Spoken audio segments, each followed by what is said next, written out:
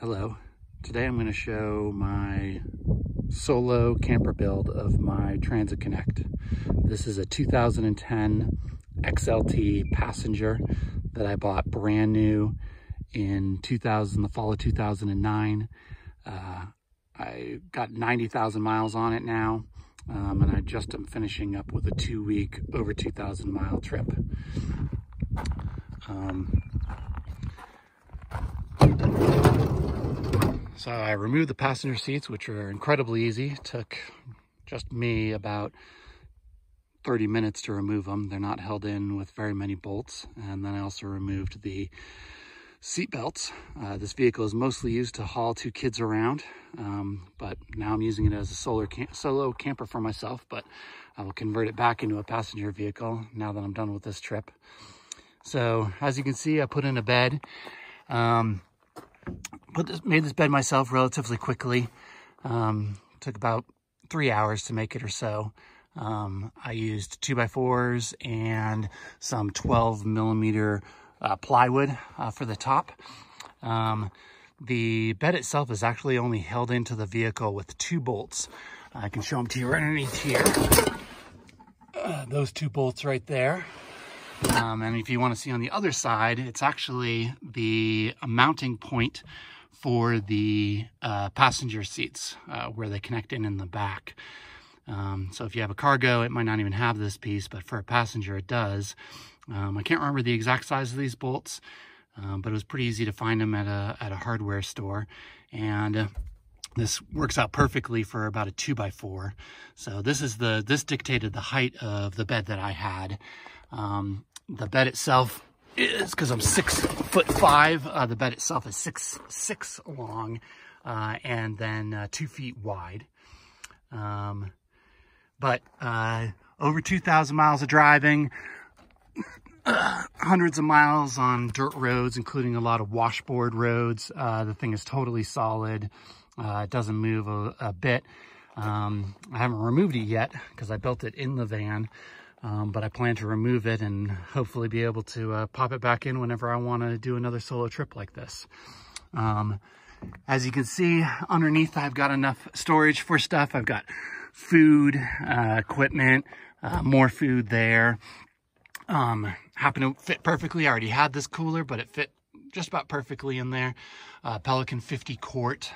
Um, says it holds ice for eight days, but it does hold ice for a little bit longer. You just got to keep on draining the water. Um, behind it, I've got my chair, which I use to sit out, but I can also, if the weather's bad, I can put the chair right here and I can hang out inside the van. Um, but usually if I'm inside the van, I'm either sleeping or uh, reclining in the uh, bed, uh, reading a book. Um, this is another thing that the passenger van has is these attachments for child seats. Um, and it happens to work perfect for having a little lantern right there. Um, the curtains are uh, ones that I made many years ago when I had a Volkswagen Eurovan and um, I repurposed them. They don't fit perfectly, but they fit very well.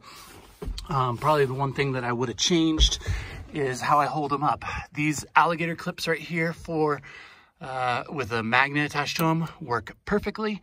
Um, I really wish I had more of them, but the store was out of them when I went to go back to get more. Um, instead, I'm using these magnets, uh, but they don't work out quite as well. I just got one magnet over another magnet. So you can see I have a magnet just kind of attached to the to the metal there. Um, if I bump them, they fall off. What I should have done is sewn in the uh, this magnet here should have sewn in to the to the fabric. I'll do that next if I want to make a change. Um, for also for storage, I've got five gallons of water right here. Fits pretty easily, but I can still move around. And then in the back, I've got five more gallons of water underneath there. Um, uh, I also have uh, access to my to my cooler to drain out all the water. And um, back here, I attached a uh, inverter that I got from Harbor Freight Tools and then a um, fire extinguisher. Uh, I do little notches right here to keep access to this um, outlet plug. Um, but just used a hole saw on both the 2x4 and on the uh, plywood. Um, and then I got a space to connect to it, either a USB outlet or just plugging in um, this inverter.